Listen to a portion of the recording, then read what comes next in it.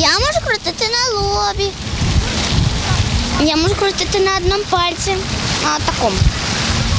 Я могу на цьому. Я могу на цьому. Я могу на коліні. Вові 9 років. Уже місяць хлопчина не випускає з рук дзигоподібну іграшку. Носиться з нею всюди, як колись із тамагочі. Про спінер розповідає з захопленням. Каже, у нього найкрутіший. Крутий дуже, він довше крутиться усіх. Шарики удобні. І ще дуже хорошо крутиться ось ця штука. Називається подшипник. Придбати спінер не проблема. У Вінниці його продають чи не на кожному кроці. Ринки та магазини міста просто кишать палатками з новомодною іграшкою. Причину такої популярності продавці пояснити не беруться. Лише кажуть, ціна залежить від якості та наворотів крутилки. Дорожче це серія йде металева, дорожче йде серія, які світяться або ще можуть відтворювати там звукові якісь ефекти навіть.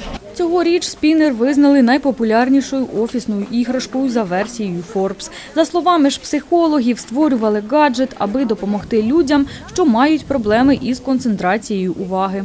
Перш за все, вони дозволяють розвивати дрібну моторику рук, яка пов'язана з пам'яттю, з мисленнєвими операціями, а також з розвитком мови.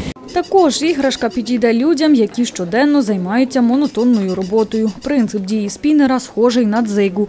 У нього не сідають батарейки і користуватися гаджетом дуже легко. Крутилка допомагає зосередитись і здатна зменшити хвилювання чи роздратованість. Люди намагалися перенести свою тривогу за допомогою повторювальних дій, які дозволяє людині відволіктися від реалій і вийти в такий, можна сказати, трансовий стан. Маленьким дітям фахівці все ж радять утриматись від такої забавки. Одна з причин – спінер може вислизнути з рук або ж розпастися на деталі і поранити власника. Для дорослих же гаджет жодної небезпеки не несе. Руслана Ткачук, Ігор Самчук, Ростислав Макогон. Телевізійні новини Вінничини.